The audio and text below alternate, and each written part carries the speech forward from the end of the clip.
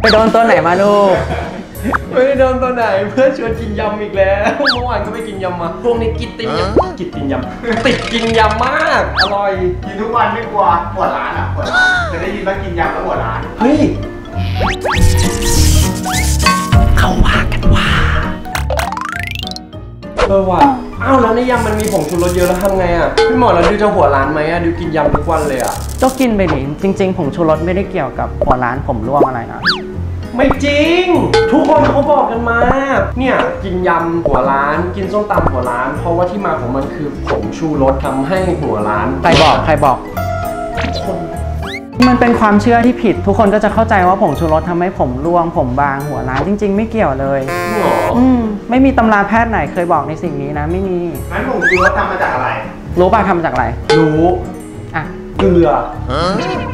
ก็มันดูขาวจริงๆ ก็ถูกครึ่งหนึ่งนะๆเฮ้ยจริงเหรอ เพราะว่าผงชูรสเนี่ย ชื่อเต็มๆของมันคือโมโนโซเดียมกลูตาเมตไม่ใช่ชื่อช่องทีวีอะไรสักอย่างที่เป็นเลขอะ29 โมโนแปลว่าอะไร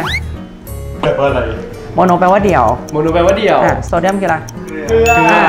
กลูตาเมตอันนี้ยากที่สุดสารประกอบที่ประกอบไปด้วยโซเดียม และกลูตาเมตเพราะฉะนั้นจริง ๆ มันก็คือเกลือครึ่งหนึ่งแหละถูกแล้วจริงเหรอใช่ มันเป็นสารที่สกัดมาจากมันสำปะหลัง ไม่จริง อันนี้ไม่เชื่อหยุดเถียงได้ปะ ไม่แต่มันดูไม่เห็นเหมือนมันสำปะหลังเลยคืออันนี้คือมันทำมาจากมันสำปะหลังจริงๆเหรอใช่ มันสังเคราะห์มาจากมันสำปะหลังอ๋อเหรอาเพราะฉะนั้นจริงๆ แล้วโมโนโซเดียมกลูตาเมตหรือผงชูรสเนี่ยเราก็เจอในอาหารทั่วๆไปอยู่แล้ว แต่ว่ามันไม่ได้มีประโยชน์อะไรกับร่างกายมากมาย อืม มันก็อาจจะช่วยแค่เรื่องให้อาหารอร่อยขึ้นอะไรเงี้ย การบริโภคมากๆ ก็อาจจะมีข้อเสียได้เพราะโซเดียมมันเยอะ ก็เหมือนการที่เรากินเกลือเยอะๆ ก็อาจจะไม่ดีกับสุขภาพ แล้วก็ไม่ได้เกี่ยวกับผมร่วง ถ้าอยากจะไปกินยำก็ไปกินได้ ได้เลย แล้วก็กินน้ำเยอะๆ ด้วยเพราะโซเดียมมันเยอะ ไม่เห็นเป็นไรเลยโซเดียมมันบวมเถียงอีกละ โอเค เอาใหม่นะครับ สรุปว่าผงชูรสไม่ใช่สาเหตุที่ทำให้เกิดผมร่วง ผมบางหัวล้านนะครับ เรื่องนี้เป็นเรื่องที่เป็นความเข้าใจผิดกันตั้งแต่รุ่นสู่รุ่นเนาะก็ทำความเข้าใจกันสมัยนะครับเพราะฉะนั้นถ้าจะทานก็ทานได้ แต่ทานในปริมาณที่เหมาะสมนะครับ ก็ถ้าเพื่อนๆคนไหนนะครับ มี